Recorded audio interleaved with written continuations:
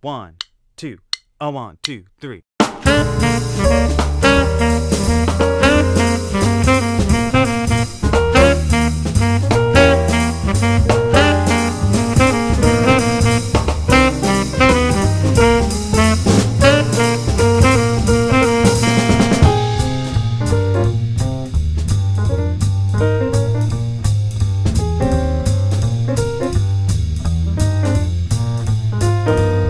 Everyone, it's Steven here from SCTV Public Theater.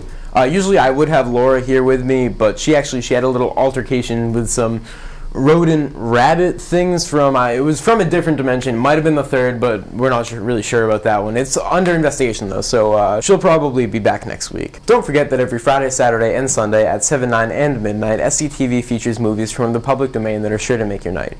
This week we are featuring Too Late for Tears, starring Elizabeth Scott and Don DeForce. The movie starts when a mysterious suitcase is thrown into the car of Jane and Alan Palmer.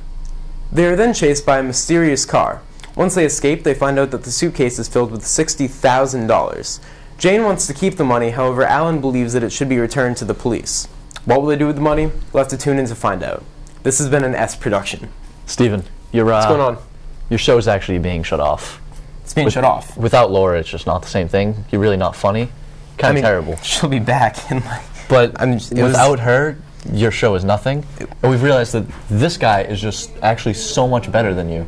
It was the first one though that I did alone, so I feel like I could get better. But you're just not at all just good, and we know that he will be good no matter what. So for however long Laura's gone, we know he's dependable. All right, d- does he talk? Because he hasn't really said anything. You're kind of speaking He's- for him. He's just better than you in every way possible. We're on. Why do we have to do this on camera? I didn't know that we were on camera because you weren't saying anything interesting, so I just figured that we weren't actually on camera at all. All right. Okay. All right. Fine. All right, so just come Whatever. right here, just stand, face that camera right there, and go ahead and give a good closing. Okay.